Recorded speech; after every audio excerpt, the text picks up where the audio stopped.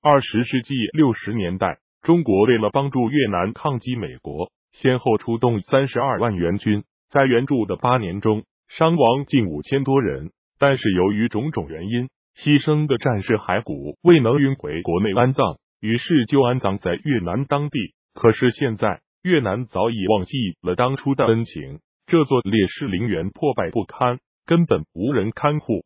看到这些情景，小编我心里很不是滋味。越南就这样对待我国牺牲的战士吗？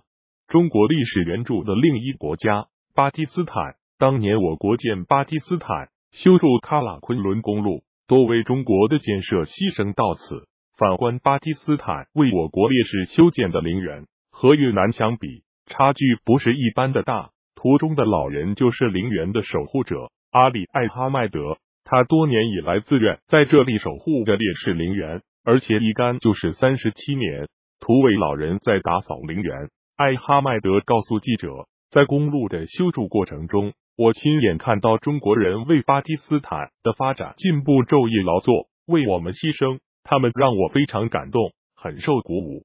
一九七八年陵园建成后，我就决定要为这些来自中国的英雄们做些什么。